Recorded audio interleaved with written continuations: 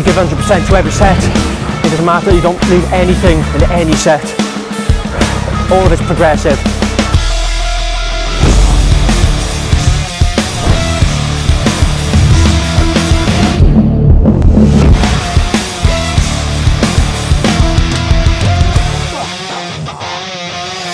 Is it really worth it? You just gotta ask yourself that. It's kind of like the method to whatever you do.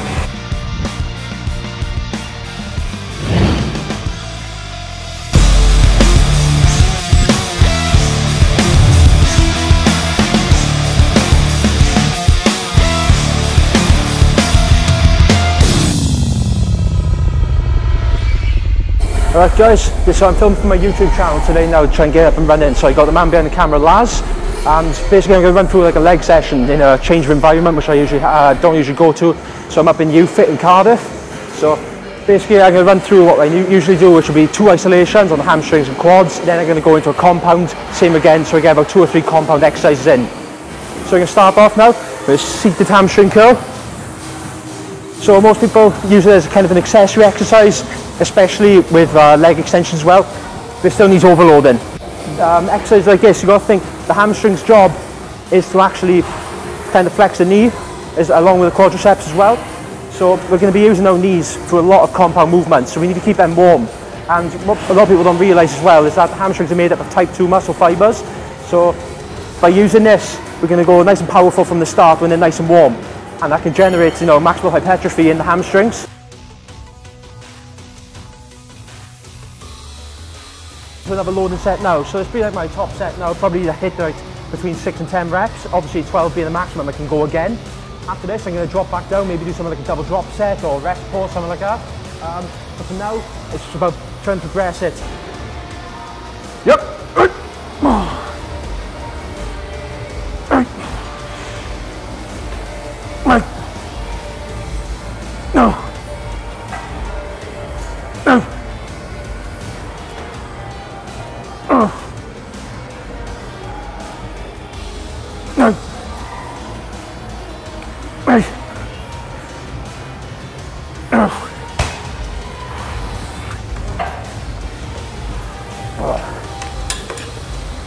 Guys, at that point now, I think the pad's going to be a bit tighter on that one, um, but I'm not going to go much higher.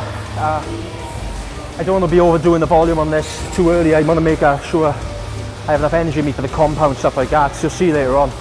But give myself like two or three minutes now before I go back into like the intensity set. Uh, some people call it like a pump set or anything like that. They all got uh, different names. But you can see I'm short of breath already and it's two or three sets in. That's the intensity you need. Guys, so basically I've done my two loading sets now. Um, I'm going to go into like a rest pause. So I'm going to take the load down the tiny bit and just max it out. Go for failure. Give myself like 10, 15 deep breaths and go again. It works out about 30 seconds rest. You'll see why.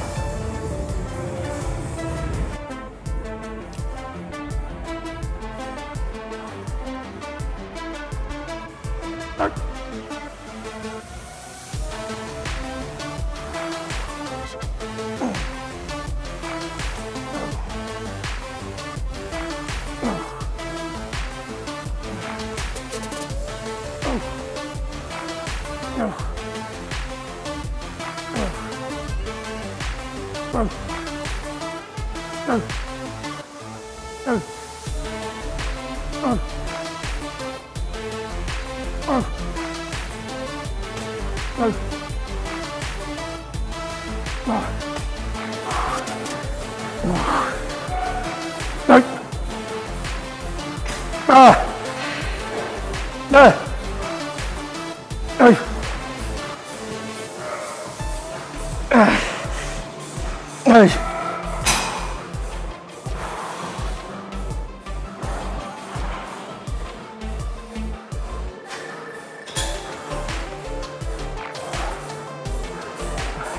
Yeah, cramping up already. So, you know, when I go into my combos later, it's gonna be a tough. But you give 100% to every set, it doesn't matter, you don't leave anything in any set. All of it's progressive. Whether it's isolations or your biggest compounds, progress every single time. You beat your numbers. So, So what I'm to do now is go into um, like a leg extension. So I've done hamstring focus. I'm going to go into a quadricep focus. For anybody who has, you know, has very minimal knowledge on human anatomy, we've got hamstrings on the back of the thigh and quadriceps on the front of the thigh.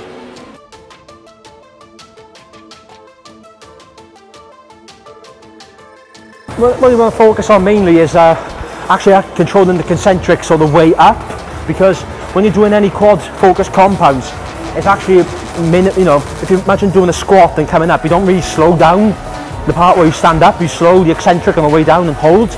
So you want to get the weight and try and progress it, but you want to keep it under control. Don't just swing it up and, you know, try and drive your hips through. Make sure you are focusing on extending the knee. I'll show you right now.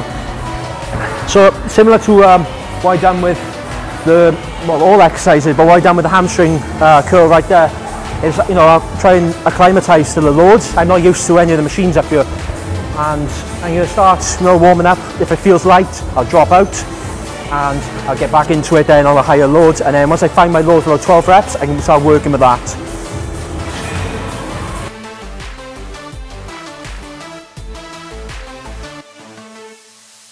Yeah, so guys, what I'm going to do now is um, the kind of intensity set I'm going to do. So starting point is going to be, you know, one or two notches a bit lower than I would have been on my second loading set. Um, right, and I want to go for failure as early as possible.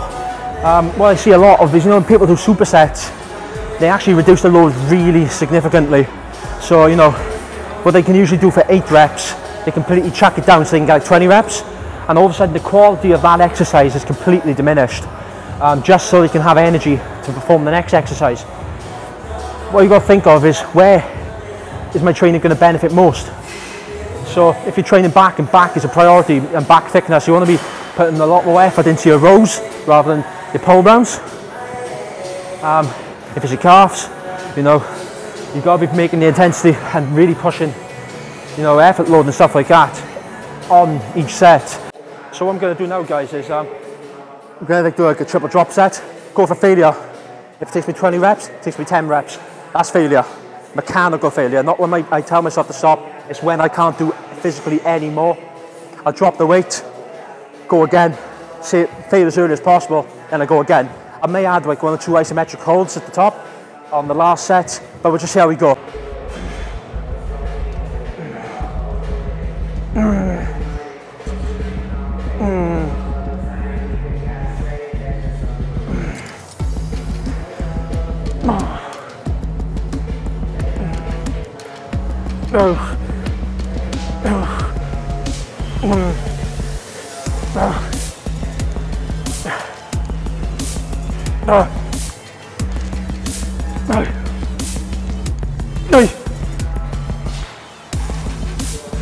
ừ.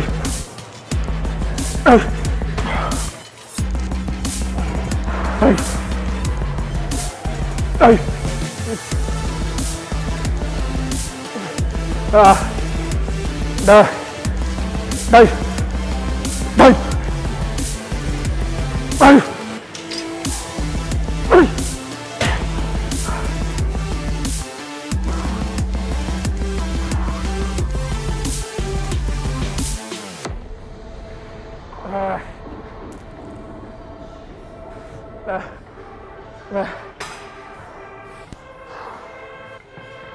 So, you know, that's our second exercise in.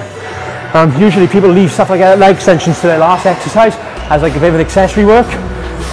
No, at the end of the day, that is pure isolation on the quadriceps.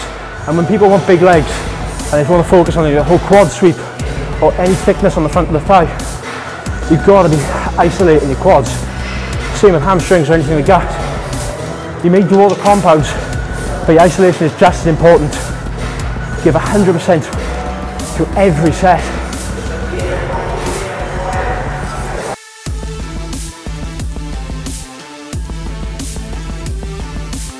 you know, the moment I wait for, the moment, you know, it gets really competitive right now. And, you know, it's a hack squat. It's more of a quad isolated movement. Um, I, it's not an excuse, but I you know, I completely crushed my sciatic nerve about two, three years ago squatting and playing rugby. I completely moved away from squat for like six months. Leg strength and leg development completely went out of the way. I moved gyms and they finally installed a hack squat and my legs blew up. because what people don't understand is that um, you can do squats for strength and yes, definitely you can grow doing squats, but it's, it's so tough because we don't you need to understand how your you know legs are going to work. If you're you know if you're just doing a squat and bouncing from A to B completely out of the hole and driving your hips back, don't expect your legs to grow too much. You know, focus on knee flexion. Doesn't matter how wide your legs go. Knee flexion, quads blow up. But this is the best for full knee flexion. I haven't used a the Cybex one. I usually can go at five, five and a half plates for reps on the one I use it down the kicks gym. But I, you know, a lot more people use the side Cybex, so it'd be nice to see where I compare in the grand scheme of things compared to them. Same approach. I'm just gonna see how the movement feels, get my hips settled, um, get few like sets in, then I'm gonna start working. It may not be an intensity set on this one though because I'm to save up for the leg press after.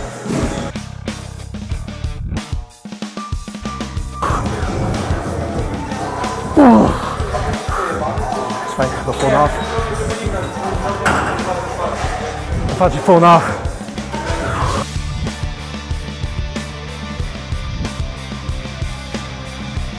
Ah! Oh!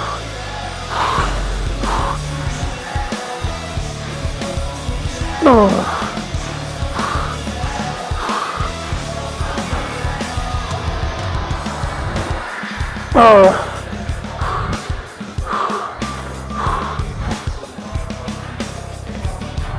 Oh.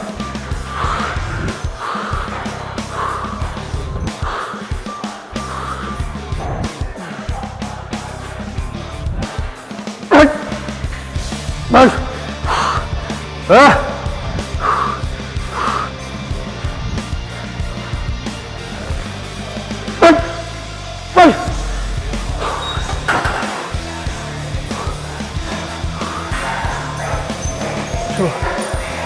I was like 95 each side for six. Uh, I probably drop back off and try to take, take it back in the 90, something like that. So next time, give me like I barely starting to breathe. I need to, this is intensity. Times I guess I wish I had my spot over me or something like that with kind of extrinsic motivation, but just getting music again. Just do what you gotta do. Try and relax. Uh, it's so, you know, I talk about in the youth theory of arousal. You can only pump yourself up so much to the point where it detriments performance. I think if I got any more pumped up than I was then, game over. But I mean, of she's up from pushing against the pad so hard. And I think if I went on that set again, I think my form's just completely go sloppy.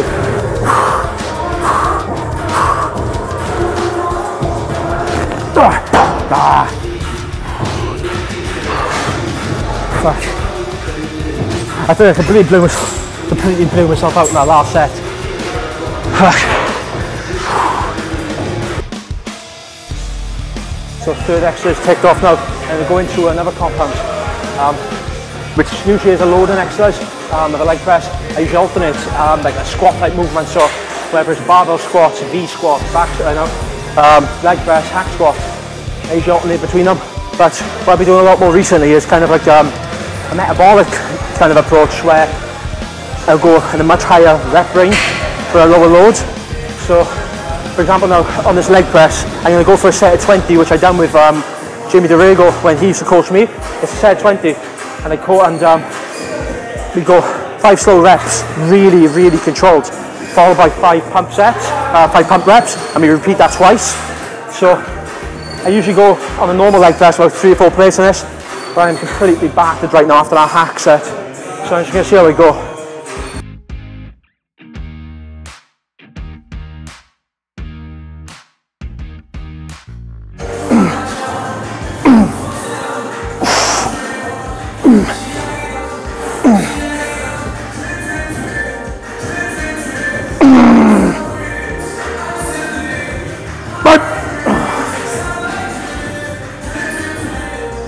I.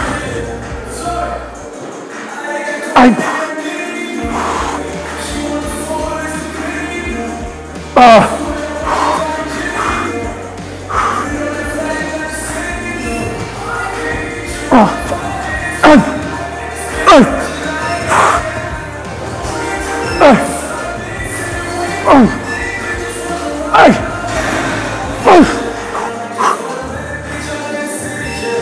Ah!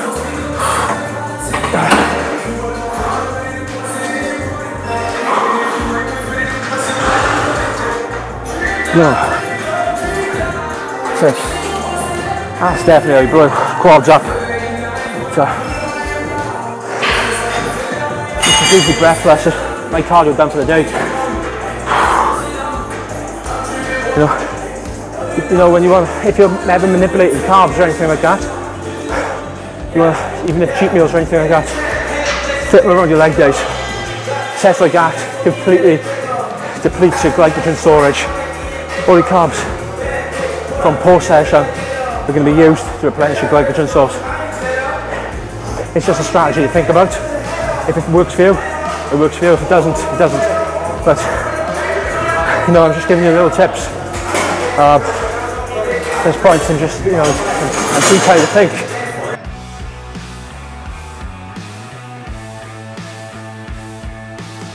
There won't be any RDLs today. Um, it's just I usually like either put them in with a um, session or like you know some kind of density day. Maybe at um, you know JP calls it uh, a lot of. But ever since I completely crushed my sciatic nerve, I've been really cautious to any hip hinge movements. So if I do any kind of uh, squat movements or anything that low, uh, puts a lot of strain on my lower back and glutes, I'll usually back off from a deadlift movement. Like um, I've done a lot where I've done like leg press and squat in the same session, and it completely ruined my back. So and she's going to go for like a kind of isolation movement on the hamstrings finish off like we did initially but it'll be a lay-in variation. So the actual aim of this is to keep your hips driven into the pad. So there's no need to have your hips extended and actually using your hips to pull up. You want to keep them driven into the pad as you know, as hard as possible. So all the weight is coming on the knee flexion. So shall we go without me cramping up which could be funny no.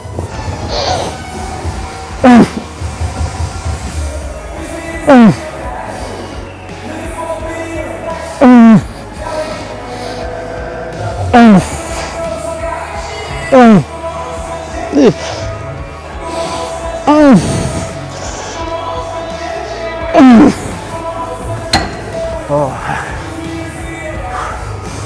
Yes, good. That's legs wrapped up for the day. Well, thank Laz for get, you know, giving the time to get me uh, film and check out all the stuff he does with Jamie. And if you're a member of the AJ Morris membership site, you'll check out some of the stuff. But you know, it was a good session. I'm hoping to get more in.